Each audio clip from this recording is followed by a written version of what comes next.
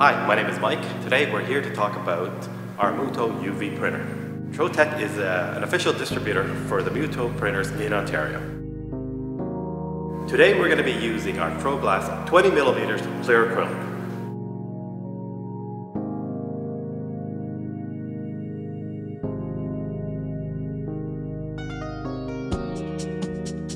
We're going to be doing a plaque of a Canadian icon by the name of Terry Fox. The Mutoh ValueJet 426 has a table size of 19 by 13. First step that what you want to do is ensure that your material will fit within the table.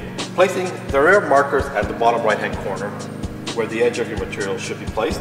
Once you've got that position, the next step would be to calibrate the, focal, the focus height of that material. Here you'll have a focus toolbar that runs across the top. The dial is located towards the bottom of the machine.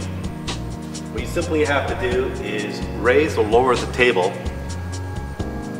until your material just barely touches the focus bar. Once you've got that set, close the lid Right down to the keypad area, you're going to be pressing set media.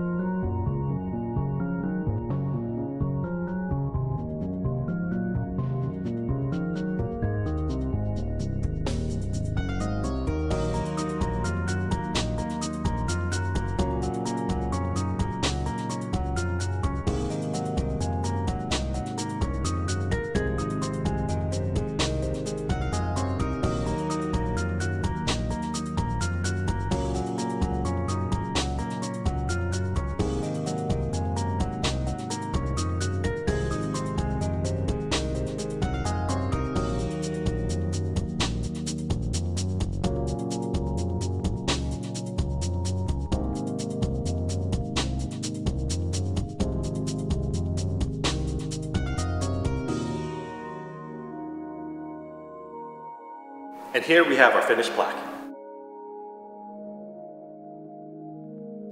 Thanks for watching. Please like and subscribe. If you have any questions or comments, please leave them down below.